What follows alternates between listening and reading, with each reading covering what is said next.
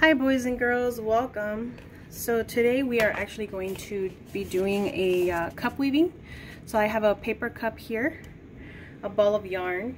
I put these two materials inside of your uh, little Ziploc bag or your um, seal bag. The only thing that you'll need from your materials are a pair of scissors. And um, we actually need the scissors to cut strips on this cup here. And uh, something that uh, you need to know that's very important is that there should be, by the end of the cut strips, by the time you finish cutting these little strips, um, there should be an odd number. So I actually marked my paper cup here approximately by inches and I just put two fingers down and made a little made a little um, sort of like a little dash there to to indicate where I'm going to cut downwards. So you'll also need a pencil or a color pencil or some kind of marker where you can see the markings that you've created. I'll actually do that with a different cup so you can see how to do this process. So with my pencil here, my cup here, uh, so I marked one mark, put two fingers down, I marked the second, two fingers, mark the third, two, I put two fingers down on, and where I'm putting the two fingers is I'm actually putting it right after the pencil line that I created. Make another line, Put my finger down again right after the, the little line that I created. Put my two fingers down after the line that I just created. And I have one more to go. So let me put a star here. I'm actually going to count them. This is one, two, three, four, five, six, seven, eight, oh that's not going to work so I actually have to make sure that I somehow let's erase this line and make two lines there. Okay so let me count it one more time.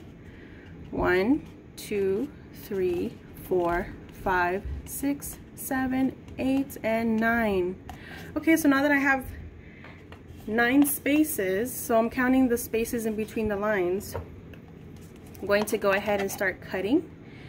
And I'm not going to cut all the way because I want this paper cup to be manageable. I'm actually going to cut where the blue ends. So I'm cutting straight down or straight up because I'm holding the cup upside down up to where the blue ends there. And I'll do that to the next line that I created. I'll do it to the next line that I created.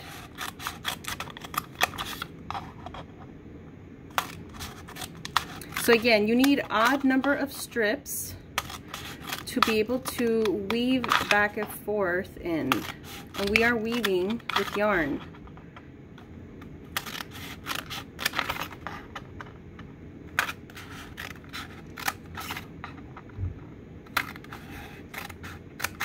Okay.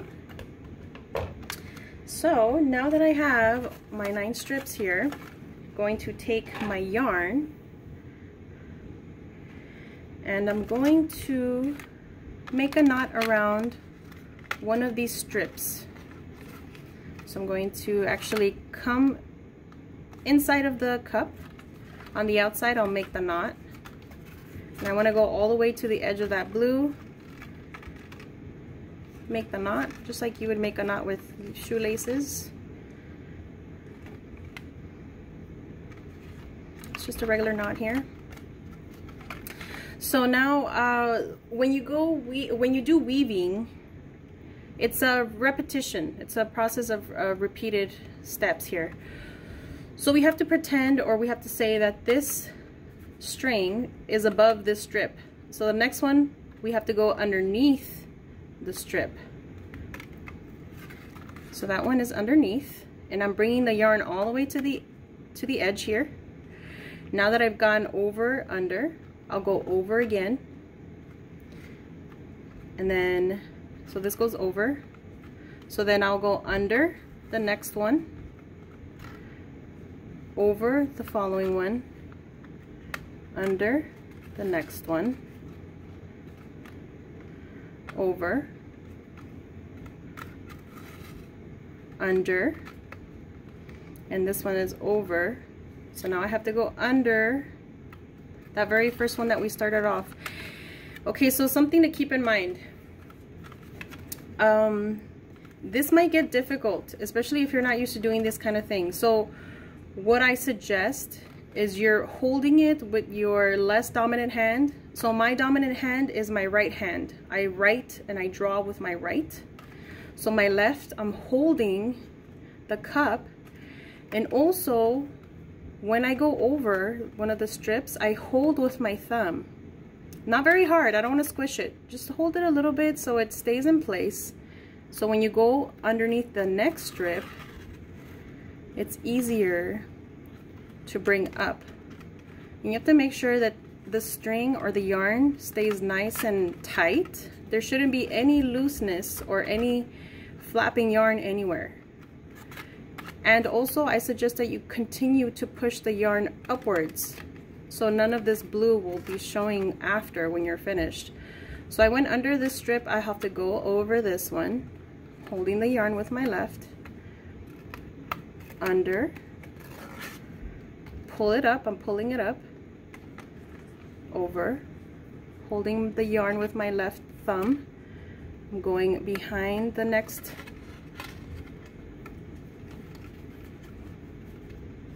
and I'm pulling it up making sure it's nice and tight.